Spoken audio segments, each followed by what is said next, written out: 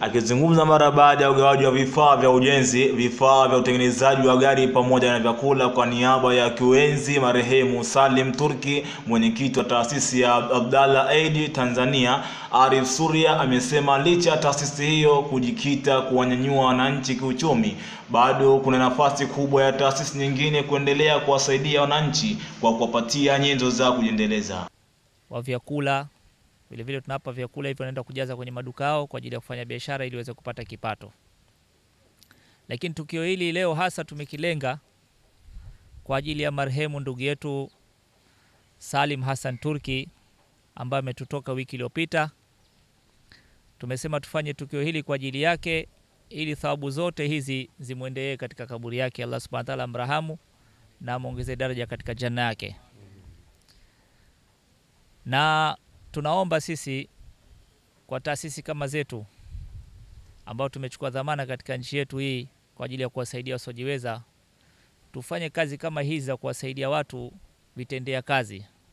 Ukimpa mtu chakula, ukimpa mtu mavazi, mara moja atakuisha, lakini ukimpa kitendea kazi ataweza kuendesha familia yake, lakini vile vile baadaye Allah atamjalia, ataweza kuuza, ataweza kukua mpaka na yeye vile vile atakuwa mwenye kutoa. Namna hii itakuwa sisi tutaondoa umaskini na tutawezesha watu wengi wataweza kujiendesha wenyewe. Naye msimamizi wa taasisi hiyo visiwani Zanzibar, Abdallah Suleiman Mrusi, amesema pamoja na juhudi za kuunga mkono serikali kwa kuwawezesha wananchi kupitia misaada mbalimbali, suala la mizigo kukaa muda mrefu bandarini kunachangia kutofikisha misaada kwa muda mwafaka. tunataka kuiombea ushuru lakini inatupa ugumu.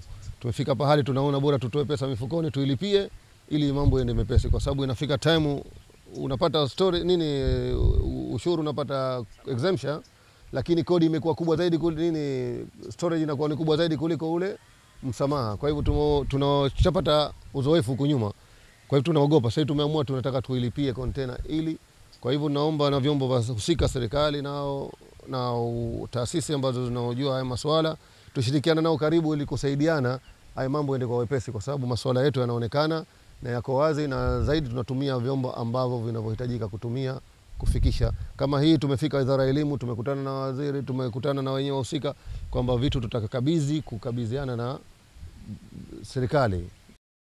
Nao baadhi ya wananchi waliopatiwa msaada huo wameshukuru taasisi ya Abdalla Aid na kuziomba taasisi nyingine kuona umuhimu wa kuwasaidia wananchi wanaoishi katika mazingira magumu. tutatumia katika mazingira ya kumsaidia mama yetu ambaye yuko nyumbani ambaye hajiwezi kwa lolote. Endeleza tena kununua vifaa vingine kwa msaada huu. Nashukuru kwanza kupata huu msaada, kwa sababu sio wajasiriamali. hasa, msaada umekuja wakati mwafaka, kwa sababu binadamu mtu kumwezesha si kumpamba pesa. Ukimpa pesa anaweza kufanya mambo mengine, lakini ukimpa zana ya kazi anafanya lile ambalo ana uwezo nalo. Huko taasisi nyingine zijitokeze ili kusudi watu wa, na wao watuwezeshe ili tupate angalau mitaji mitaji zaidi. Jumla ya wananchi 30 wamepatiwa misaada mbalimbali kwa lengo la kumwenzi marehemu Salim Turki ambaye alikuwa kipaumbele kusaidia jamii. Mtangazaji wako Hamid Voi Hassan, Zanzibar Newscom.